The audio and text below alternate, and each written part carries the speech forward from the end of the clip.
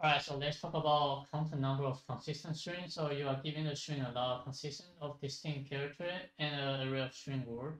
So a string is consistent if all the character in the string appears in the string allowed. So you just have to return a number of consistent string in the array word. So basically like you create a hash set and then uh, add every single character into a set and then traverse the entire word string.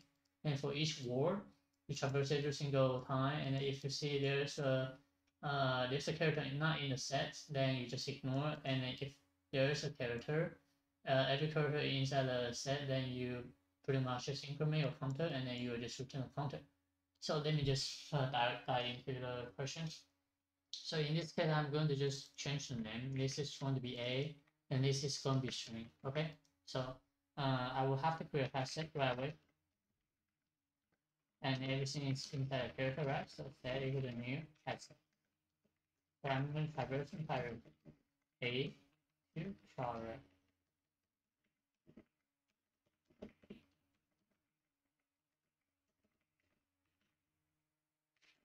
And pretty much just add C into it, right? And I need to counter. And I also need to know my string, so traverse entire string. So and I would also need to increment my counter every single time, no matter what. But I need to check every single character inside the word, right? So for char, C, inside the word, to char rate. And then if there is uh, something that is not in the set, I need to break there pretty much, right? So if set contains so not in the set, see, I will have to break. So uh, before you break, since you add since you add the counter right uh, right after you uh, enter the for loop, right? So I mean, right before you enter the for loop, you increment your counter, right? But you somehow find out there's a carrier not in the string word, right? So you have to increment your counter. So this is pretty much uh, the tricky way you have to uh, you you have to notice. So you just have to return a counter. So this is the solution. And let me run it.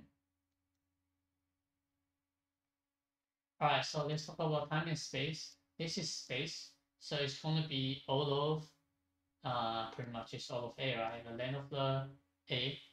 And for time, this is all of what? All of S times all of W. And W is actually uh, the maximum of the word, to be honest. So here's my notes. So time is all of s times w. S represent the string of the word, uh, the length of the string, and w uh, the length of the word. And this is the maximum, the, the, the longest word inside the string, s. And then space is all of a, and a is the length of a.